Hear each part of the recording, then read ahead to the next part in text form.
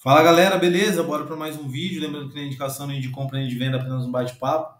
CVC. CVC também bem complexo, né, galera? O pessoal aí, os players não estão deixando andar nem para cima, nem para baixo, nem para o lado. Papel tenta esticar, foi até 1,93, aí os caras já realizam e quase fecham na mínima do dia.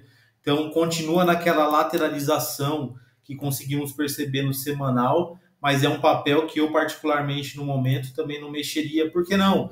porque o setor está muito ruim, né? As aéreas estão falindo, o papel depende diretamente desses caras, então se você pode entrar em algo que vai te dar menos dor de cabeça, é mais viável.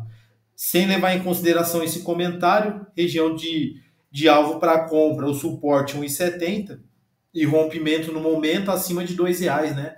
Fechar acima de 2 e se manter para poder se afastar o máximo possível dessa região. Quanto mais perto de um real, maior a possibilidade de grupamento. Falou em grupamento, o negócio já começa a ficar estranho. Saiu do grupamento, os caras tendem a jogar para baixo. O mercado está desse jeito. Então, evitar ações na casa de um real ali é a melhor opção do momento, beleza? Então é isso aí. CVC por enquanto totalmente lateral, desde o dia 15 do 4, ó, andando de lado até agora. Já estamos falando aí de 115 dias e não deixam ir para lado nenhum. Quem, quem quiser especular só tem que se atentar a esse 1,70 e fechamento acima de R$ reais clareia.